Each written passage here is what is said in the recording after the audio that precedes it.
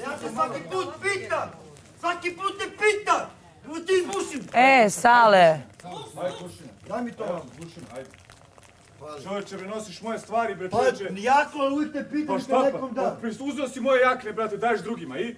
Sam te pitao bre, ne Čekaj, trdu. čekaj ti, Sam ja te ti- pitao, ti ti da daš ti čolaku jaknu neč, rekao si daj. Čekaj, ti nosiš moje jakne, ja ne mogu da uzmem uh, šampon. što nisi kupio sebi Ti šampon? Što nisi lud. ku- a što nisi kupio sebi šampon? Ček, sački, molim oprosti. Ti uvijek Aj, nemoj, nemoj samo da mu se unosiš, molim Uvijek, te. nemoj vučiš, te uvijek pitam, ali te uvijek pitam, ali te pitam, jel te pitam, jel te pitam, Ti mene ne treba pitaš takve stvari.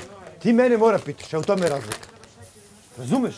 Ne možeš da uzimaš ono, jer ja posle ne znam za sebe, vas boli kurac.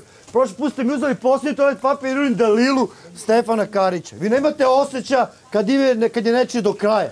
Razumeš? Drugo je stvar, drugo je kad uzmeš kozmetiku nečiju. Da li koliko nemaš osjećaja? Zato što sam uzeo tri puta. pa- Nije stvar u tri puta, ću ga sad razbiti. Ali mi kažeš, brate, uzobi, ja kažem nije problem. Kad ti nešto nisam dao kad si me pitao? Problema. Što be, znaš koliko me zabole kurac, dečko. Naravno. Sad ću izbaci svoje stvari iz izbaci, Jebem ti jaknu zarinu, raspalu.